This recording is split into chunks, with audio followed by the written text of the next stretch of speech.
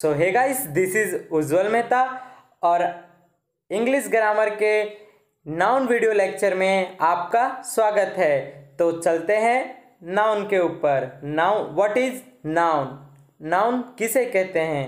तो नाउन का definition a noun is a word used as a name of a person place और thing मतलब किसी व्यक्ति, वस्तु, स्थान गुण, कार्य या अवस्था के नाम को नाउन या फिर हिंदी में कहे तो संज्ञा कहा जाता है। नाउन के पाँच भेद होते हैं। There are five kinds of noun first proper noun Hindi व्यक्तिवाचक संज्ञा। दूसरा कॉमन नाउन हिंदी जातिवाचक संज्ञा। तीसरा कलेक्टिव नाउन हिंदी समूहवाचक संज्ञा। चौथा मटेरियल नाउन हिंदी द्रव्यवाचक संज्ञा। पांचवा अब्स्ट्रैक्ट नाउन मतलब भाववाचक संज्ञा। ये तो जाना हमने क्या? नाउन के कितने प्रकार होते हैं? तो जानते हैं सबसे पहले फ़र्स्ट काइंड के बारे में। फ़र्स्ट काइंड क्या है हमारे पास? प्रॉपर नाउन प्रॉपर नाउन यानी व्हाट इज़ प्रॉपर नाउन तो प्रॉपर नाउन का definition a noun that so as a particular person place animal और things is called proper noun. अगर हिंदी में समझे तो प्रॉपर नाउन से हमारा तात्पर्य किसी वस्तु, व्यक्ति तथा स्थान के नाम से होता है। अगर आप एग्ज़ाम्पल जानना चाहते हैं तो समझिए यूँ, Ram, the Ganga, the Himalayas Delhi cow etcetera ये क्या है? एक तरीके का नाम है। और जिससे क्या पता चलता है कि राम एक खास लड़का है, गंगा एक खास नदी है तो जिस चीज़ से हमें खास होने का पता चलता है, वो प्रॉपर नाउन होता है।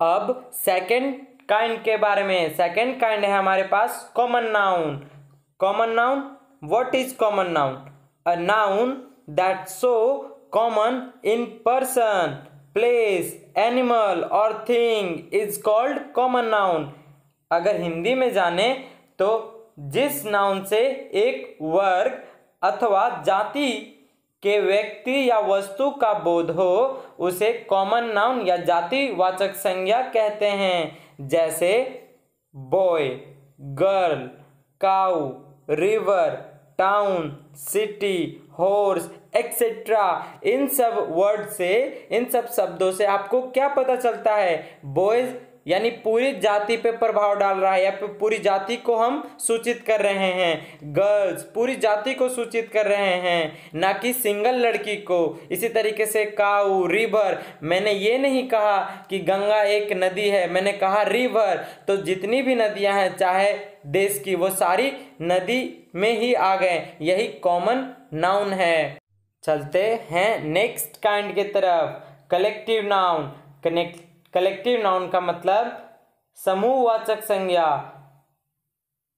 A noun that so collective of person animal और things is called collective noun मतलब जिस नाउन से समूह का बोध हो, उसे कलेक्टिव नाउन या फिर समूहवाचक संज्ञा कहते हैं। जैसे टीम कमिटी आर्मी एक्सेट्रा इन सब नामों से आपको क्या समझ में आता है?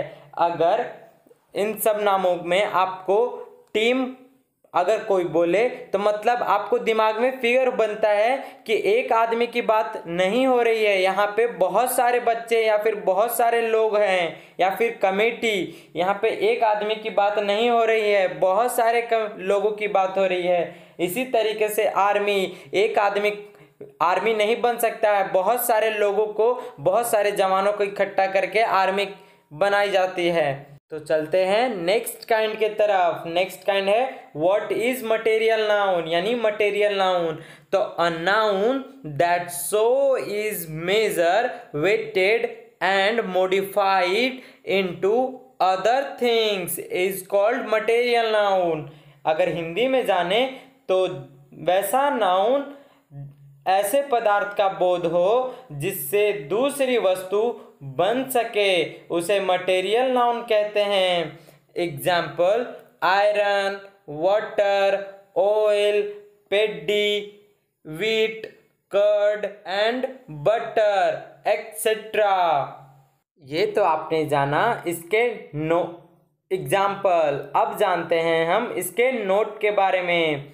मतलब मटेरियल नाउन काउंटेबल नाउन नहीं होते हैं। मतलब इसे हम गिन नहीं सकते हैं, या अनकाउंटेबल नाउन होते हैं। अब आपके समझ में नहीं आ रहा होगा कि ये काउंटेबल और अनकाउंटेबल नाउन क्या है। तो इसके ऊपर हमने एक पूरी वीडियो बना रखी है। आप वहाँ जाइए और देखिए। चल, आगे बढ़ते हैं। चलते चलते एक बात और बता दें। इसमें आर्टिकल यानी ए द और एन का प्रयोग नहीं होता है।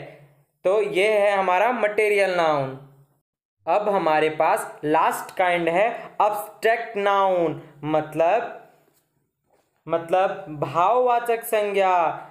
अब जानते हैं इसके डिफिनेशन के बारे में। A noun that so can not seen touch and but feel is called abstract noun इसके मतलब इसका हिंदी क्या हुआ? ऐसे गुण, भाव, क्रिया एवं अवस्था को व्यक्त करता है, जिन्हें छुआ नहीं जा सकता है, देखा नहीं जा सकता है, बल्कि केवल महसूस किया जा सकता है। उसे हम क्या कह सकते हैं? भाववाचक संज्ञा। जैसे में, जैसे क्या है? Kindness childhood honesty oldhood goodness and behaviour या फिर लव एक्सेट्रा ये सब क्या है? इन्हें सिर्फ़ हम महसूस करते हैं। अगर आप चाहते हैं कि मैं नाउन की पूरी ब्लैक बोर्ड पे वीडियो लेक्चर लाऊं और साथ में इरर का भी प्रॉब्लम सॉल्व करूँ तो आप कमेंट बॉक्स में मुझे कमेंट करके बताइए। तो मिलते हैं अगले वीडियो लेक्चर में। तब तक के लिए धन्यवाद।